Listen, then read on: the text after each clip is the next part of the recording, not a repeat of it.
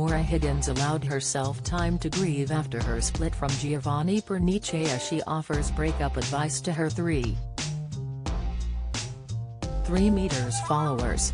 The model and Strictly Pro ended their relationship back in October amid growing rumors sparked when they deleted almost all trace of each other from their Instagram accounts.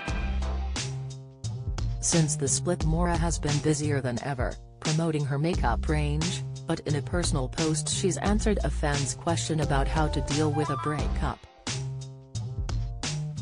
Penning a response on Instagram story she posted, allow yourself to grieve.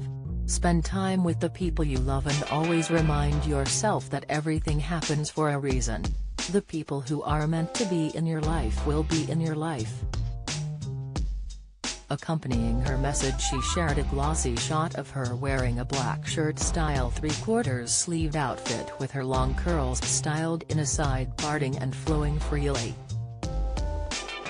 She added her trademark glam for the sultry shot appearing with beautifully bronzed skin and accessorizing her look with a watch and bracelet. According to The Sun, a source claimed that Giovanni broke up with the model and presenter, citing the couple's busy schedules and lack of time together, and that he was not ready to settle down.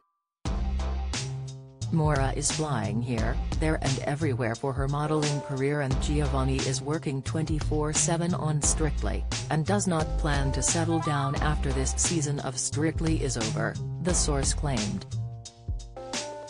But the Irish beauty was said to been blindsided by the decision with the same source saying she genuinely thought Gio was the one. The pair only went public with their relationship in July of this year, and appeared to be making plans for their future together until their relationship hit the rocks before the split.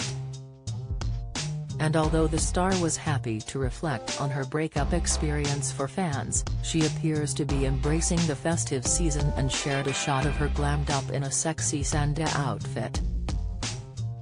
The Ann Summers model appeared with her brunette hair in bunches and added the drama with oversized diamond hoop earrings as she shared a string of shots showing off her festive look.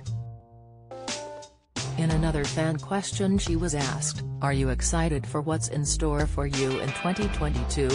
She replied, 1% I am already so busy for early next year. Maura, who recently celebrated her 30th birthday with gal pals in the Maldives, has landed a lucrative contract with one of the biggest modeling agencies in the world.